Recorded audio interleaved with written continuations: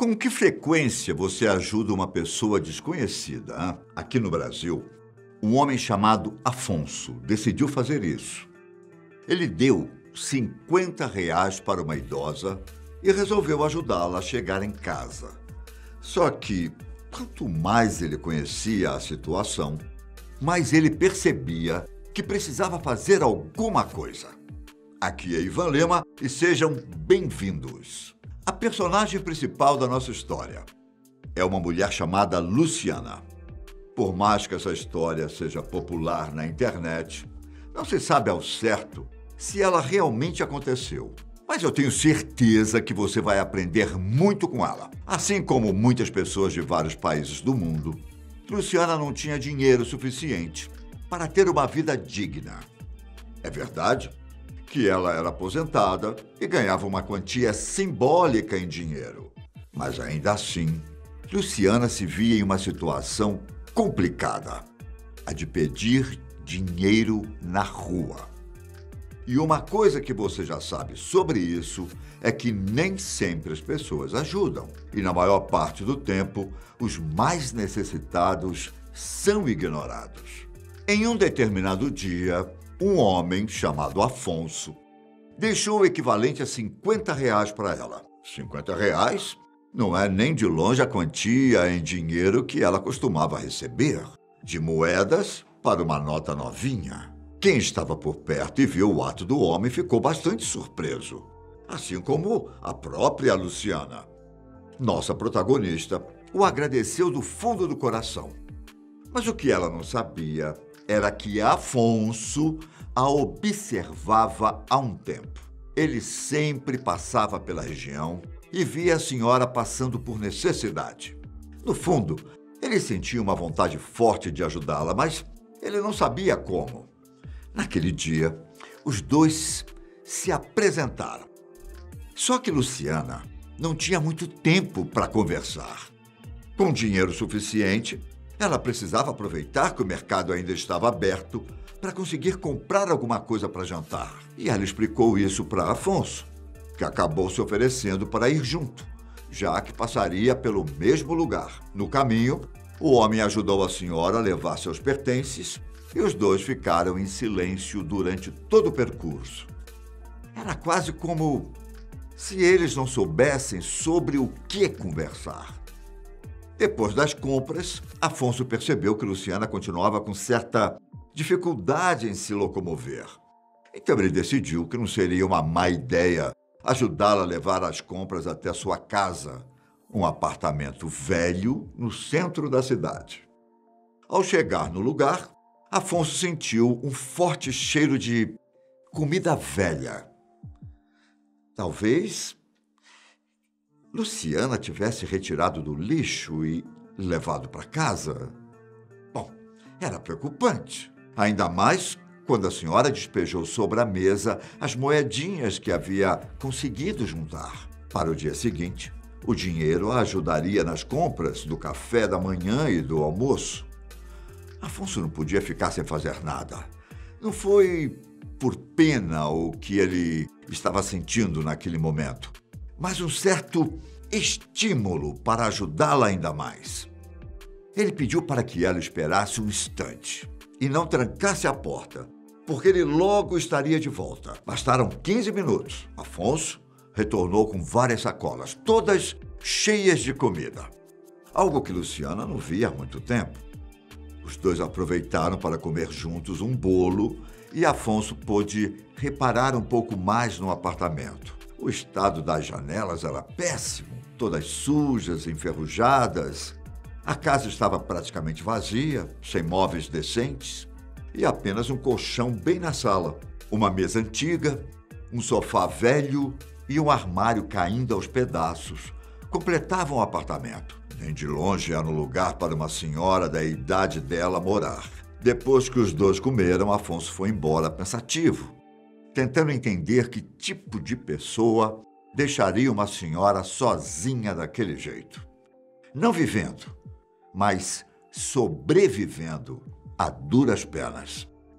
Ele ficou pensando naquele episódio durante horas e logo foi contar para a mãe o que havia presenciado.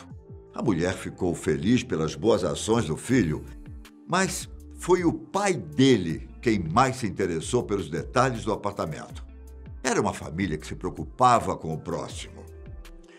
O que realmente não fazia sentido para os três era o fato de que Luciana tinha o dinheiro da aposentadoria, o que deveria ser o suficiente para que ela tivesse uma vida razoável. A única resposta para isso era que a senhora estivesse gastando dinheiro com alguma outra coisa. Havia duas opções para Afonso naquele momento: seguir com sua vida e acabar se esquecendo de Luciana, ou se informar mais e fazer algo a respeito. O rapaz começou a investigação no dia seguinte. Ele queria conversar direto com a senhora, mas ela não estava em casa. Provavelmente estava pedindo por ajuda nas ruas, como da outra vez. A sorte dele foi que a vizinha de Luciana, uma mulher mais velha chamada Heloísa, estava chegando bem na hora e o convidou para o seu apartamento para contar o que sabia sobre a senhora ao lado. Era uma casa bem diferente da casa de Luciana. Tudo estava limpo, vários móveis, nenhum cheiro ruim. Heloísa preparou um lanche para Afonso e foi direto ao assunto. Você quer saber a história da minha vizinha, não é? Claro. Ele, nós, todos queremos entender. A nossa sorte é que Heloísa a conhecia há muitos e muitos anos. Ela sabia que Luciana tinha se aposentado dois anos antes e que na casa dela não havia quase nada. O mais importante é que ela viu o dia em que as autoridades apreenderam praticamente todos os seus móveis.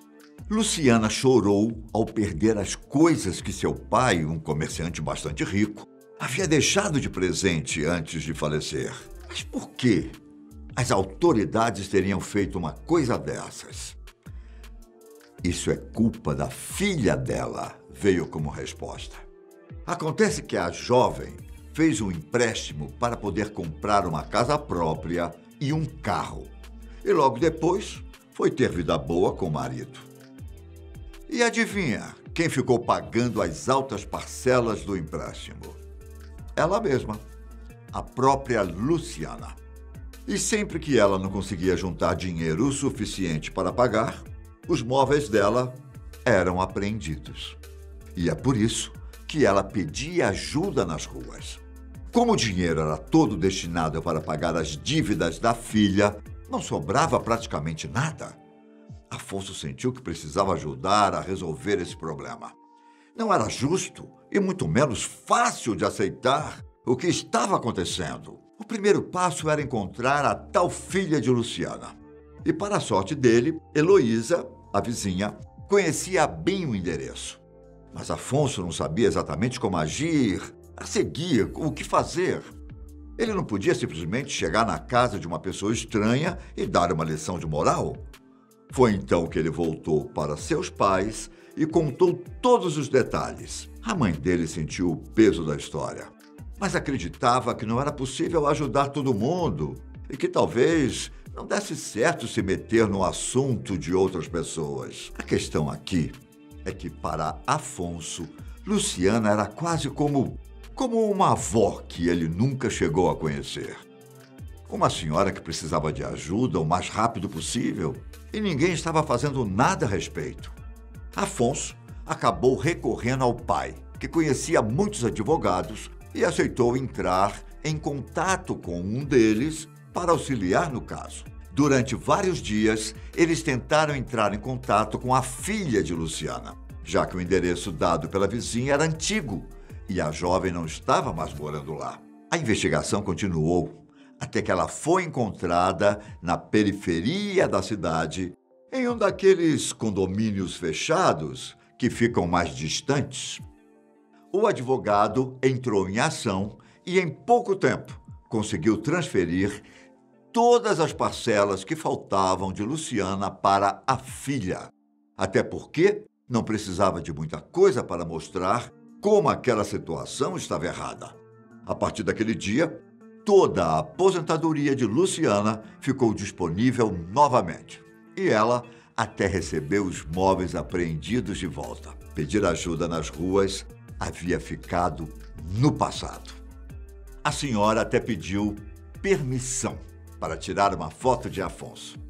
E mesmo sem entender, ele acabou deixando. Uma semana mais tarde, o rapaz descobriu o motivo. Luciana queria um porta-retrato da pessoa que mudou a sua vida. A senhora disse que sempre que alguém a perguntasse, ela diria que aquele na foto era seu neto. Espero que essa história tenha motivado você a fazer mais pelo próximo. Hein? Um grande abraço. Até a próxima. Tchau.